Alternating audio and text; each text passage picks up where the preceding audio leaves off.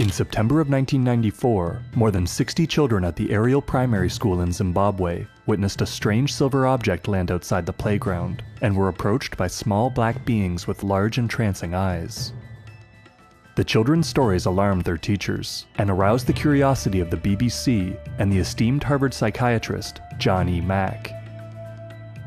While the common elements in the children's stories suggest that the object and the beings were physically real, the many divergent details and the kids' highly personal reactions suggest that there are many subjective elements to UFO and entity encounters that we don't yet understand. The Ariel Primary School is a private institution in the agricultural community of Ruwa, 22 kilometers outside of Harare, the capital city of Zimbabwe. The school was founded by area farmers in 1991, and by 1994, it had more than 200 students from grades 1 to 7, or from 6 to 12 years old. The students were a racially diverse group, though most of them were from wealthier farming families. Friday, September 16th was a clear and warm sunny day. During the regular 10:30 a.m. recess, all of the teachers were attending a staff meeting inside the school, and only one adult was outdoors, operating a tuck shop or snack store on the playground. Shortly after recess began, the tuck shop attendant, Allison Kirkman, volunteer and mother to one of the Ariel students, said that a bunch of kids ran into the shop and told her about a little black man on the playground. Kirkman thought that the kids were trying to trick her and refused to leave the shop. Shortly after, dozens of children rushed into the school, screaming about a landed craft outside the schoolyard and little black men with big black eyes.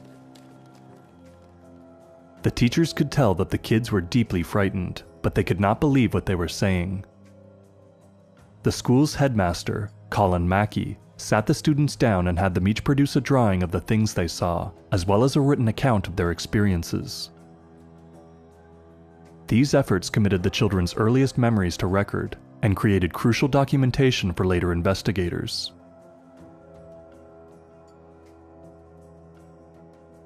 Shortly after classes ended and the kids were sent home for the weekend, teachers saw several parents searching the ground at the edge of the schoolyard with their children. The yard was virtually empty, with minimal grass, no trees or bushes, and only a few play structures near the classrooms. The children said that the beings appeared beyond the fence at the furthest point from the school, not a place where the children typically played. Beyond this fence was a field covered in brush and short trees. There was nothing there that could have been mistaken for a UFO or entity, and no indication that anything had been there at all. The following Monday, the school was inundated with letters from parents asking what had happened to their children on Friday that made them so frightened and upset. Several students were traumatized and did not return to school for several days after the event. That week, Tim Leach, senior correspondent with the BBC, visited the school, and other African news outlets picked up the story as well, including South African and Zimbabwean state television channels. Leach spoke with the children and had them tell their stories for the first time on video. He found that they were all genuinely shaken and was convinced that they believed what they were saying. Leach later claimed that despite all his experience as a war reporter, it was the Ariel School incident that frightened him most. Cynthia Hind, a MUFON field investigator and editor of UFO Afrinews, was the first ufologist on the case. Gunter Hofer, an electronics enthusiast and acquaintance of Hind's, accompanied her and swept the yard with a Geiger counter, a metal detector, and a magnetometer, with no unusual finds. The team also sent ground samples to the University of Zimbabwe, which returned with no significant anomalies. Whatever the children saw, if anything, were then only memories. After reviewing their drawings and first written accounts, Hind interviewed 62 of the witnesses grades 3 and up, and spoke with the school's teachers and administrators. Dr. John E. Mack, the noted Harvard Medical School psychiatrist and ufologist, was visiting Africa at the time to explore the abduction phenomenon there, and visited Ariel School. He spent two days talking with the kids, accompanied by his assistant and a South African TV camera operator who filmed some of the interviews. Hind and Mack found that the witnesses' stories conflicted on many details, but converged on a few key claims. Most students had agreed that a round elliptical shaped silver colored object appeared among some trees just beyond the boundary of the schoolyard. The object had a lustrous surface and a bright white or golden glow. Most of the students only saw the object on the ground, but some claimed to have seen it flying over top of the schoolyard before landing. The object glowed brightly from its landing place, attracting the kids' attention, so they ran towards the fence to investigate. At this point, one or two small black beings approximately one meter tall emerged from the object. Some kids said that one paced back and forth on the ground, and others said that they saw one on the object doing the same thing. The being on the ground then began to move towards the students.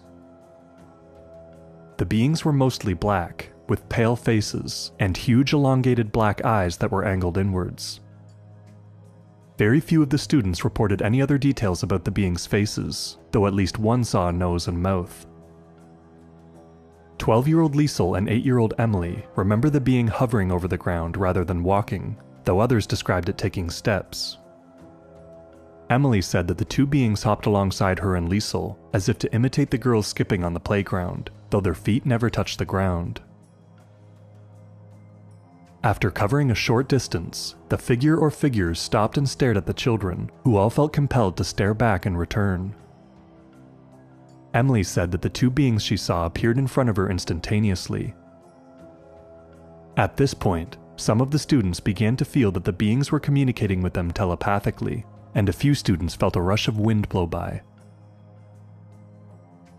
Several children saw visions of environmental catastrophe.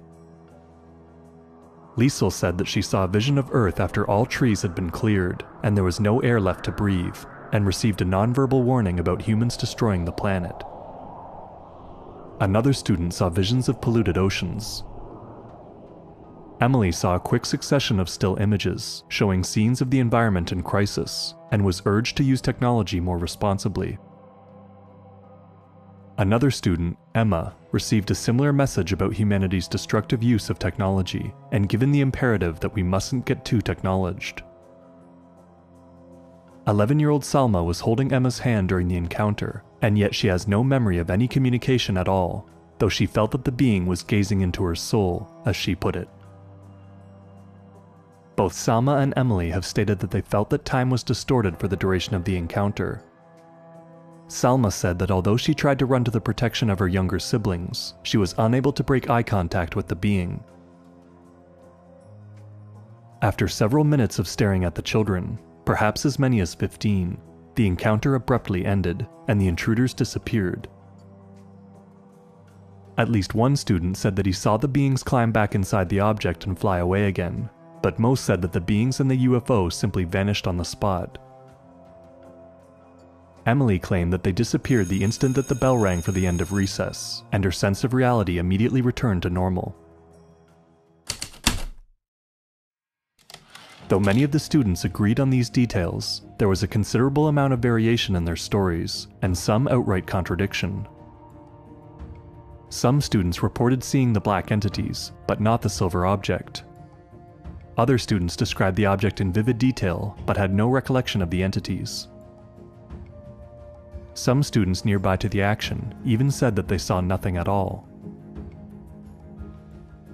Multiple students attested to seeing a cluster of objects flying in the air, while others were adamant that they saw only one. As Hind noted, although most of the students identified the object as some sort of vessel or craft, they could not agree on its appearance. Students variously drew windows, doors, lights, cockpits, landing gear, and many combinations of the above. Two boys said that it had stripes of black and green, others that there was a platform around the outside. One child drew it red. Most agreed, however, that it was generally elliptical in shape. There were also several different accounts of how the object arrived on the ground. Several noted that they saw flashes of bright, colorful lights above their heads before the sighting, and at least two students claimed to have heard loud noises in the sky. One student even described a flute like sound. Another student claimed to have witnessed the object and several auxiliaries flying along some electricity wires beside the schoolyard before landing in the field. He said that they flew over him with flashing red lights, disappearing and reappearing elsewhere in the sky several times before landing. Other students drew the object flying overhead in their illustrations as well. There was generally more agreement on the appearance of the ufonauts, but accounts varied here as well. Some described the figures as having long black hair, while other students claimed to have seen no hair at all. One student described the beings as looking like little plump humans with long straight hair, though Emily saw beings with long necks and spindly limbs. Some students claimed that the beings wore skin tight garments or shiny suits, and others thought that they were naked, with black skin. One child claimed that the figures looked just like a shadow, Another young girl said that there were three beings, in black, red, and white. While most teachers admitted to being initially skeptical of the children's stories, they later came to realize how profound the experience had been for the witnesses. The Ariel School headmaster acknowledged that he believed that the children saw something, but suggested that some of their recollections were products of their imaginations. However, other teachers were more sympathetic to the children's claims. It was difficult for them to accept that the children's imaginations had caused them all to conjure up such a strange experience and to react so dramatically. The teachers were generally convinced that the students could not have faked their hysteria when running into the school that morning, and that no one could have forced dozens of children to play along with the same hoax. Hind agreed. Mack was also convinced that the students had shared an authentic experience, and that it was unlikely, if not impossible, that they had all staged a hoax. Here, these are people of sound mind, by and large, uh, telling me something that's very. They know that I might think they're crazy, and so they're a little concerned about telling me, and and they they're very full of questioning themselves and doubt, and the whole quality of the way they talk about it is the way a person talks about experience that, that happened to them. And the Ariel children were not the only ones to see strange things around Ruwa and Harare.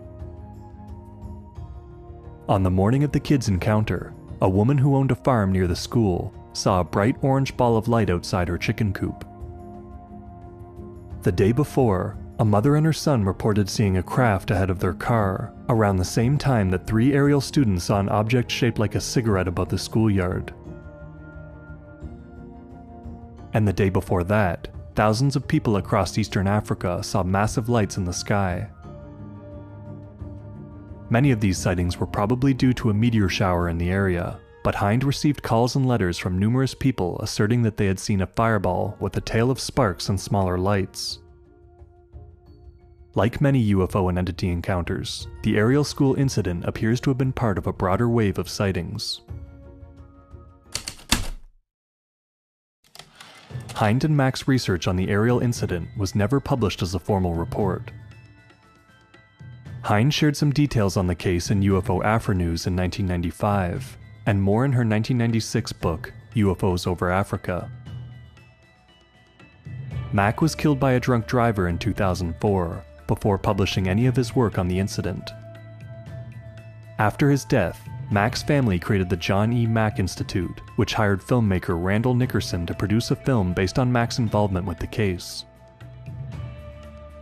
Nickerson went on to find Tim Leach, as well as several of the Ariel School witnesses, then in their mid to late 20s, and arranged a reunion in Los Angeles in 2013. He has also organized a number of public appearances and media interviews to help the Ariel School witnesses share their stories. Nickerson's film, Ariel Phenomenon, is now complete and seeking distribution. There is no doubt that the Ariel School students saw something unusual that day, but what it was is still unclear. Nothing about the object or the entities suggested a particular origin, either on Earth or in outer space. The beings conformed in many ways to the image of the Grey Visitors popularized by Whitley Strieber's Communion in 1987, but differed greatly in other ways, including in the presence of hair, squat bodies, and black skin or bodysuits. Still, they were similar to other commonly encountered entities in the sense that they only stood about a meter tall. Nickerson has also claimed at a public talk that many of the children's stories were extremely bizarre and highly illogical. For example, he spoke of one student who said that he saw one of the black beings approach across the field, then vanish, and instantly reappear where it started, only to repeat the exact same approach. Perhaps the numerous discrepancies in the children's accounts were due to their failures to accurately recall what they'd seen. After all, it's well known that human memory is extremely faulty, especially when memories are formed under stressful and traumatic circumstances. Alternatively, the discrepancies in the children's accounts may reflect real differences in the things themselves, or in the children's perception of those things, rather than simply differences in their recollection of those things. Ufologist John Keel proposed that UFOs were vessels for ultra-terrestrials, or interdimensional beings, that could somehow manipulate how they appeared, or how we perceived them. Jacques Vallée made a similar argument in suggesting that UFOs are both physically real and culturally constructed, either by some mind interfacing technological operation or a collective act of psychic projection. These considerations have moved some ufologists to focus attention away from the strictly material aspects of the UFO phenomenon and towards their effects on witnesses. Nickerson, too, has focused on the effects that this event has had on witnesses, and his documentary offers a fuller view of the ways in which it changed them. It was a dark and frightening experience for the majority. One student said that the being looked evil, as if it wanted to come and take the kids. Many of the younger children said that they feared that the little men were coming to eat them. Liesl told Mack that when she got home that day, she felt horrible inside, describing an anxiety about humans not treating the environment with enough respect. Still, years later, many of the students contacted by Nickerson and other journalists claim that it was a powerful and transformative experience for them that initiated lifelong changes in their openness to new ideas and their general sense of purpose. For example, Salma pursued degrees in international relations and human rights law, and claims that the incident taught her to believe her own experiences, regardless of what other people thought of them. Liesl became a social support worker. She said that she has always felt a strong duty to give back and do her part since the incident. Emily began producing art, with pieces that frequently feature otherworldly beings. Mack made similar kinds of observations of abductees, or experiencers, in general. He claimed that many experiencers seek out more fulfilling, outreach based jobs after their encounters, become better stewards of the environment, and develop a greater sense of spirituality. It's difficult to imagine that the students could have affected these changes on the basis of a mistaken sighting or an imagined incident. What is particularly striking about the Ariel School case is the sheer number of witnesses and the diversity of the student body. The fact that none of the witnesses have gone back on their claims or confessed to a hoax, even after more than 25 years, is a huge point in favor of their veracity. Witnesses such as Salma, Liesl, and Emily continue to speak about their experiences at public events and on a variety of media platforms. But while there's no doubt that the kids saw something highly unusual that day, the discrepancies in their accounts also suggest that there was a strong subjective component to their experiences. Whatever the kids at Ariel School saw that morning, it moved them on a very deep level and affected lasting changes in their lives. And maybe that was the point.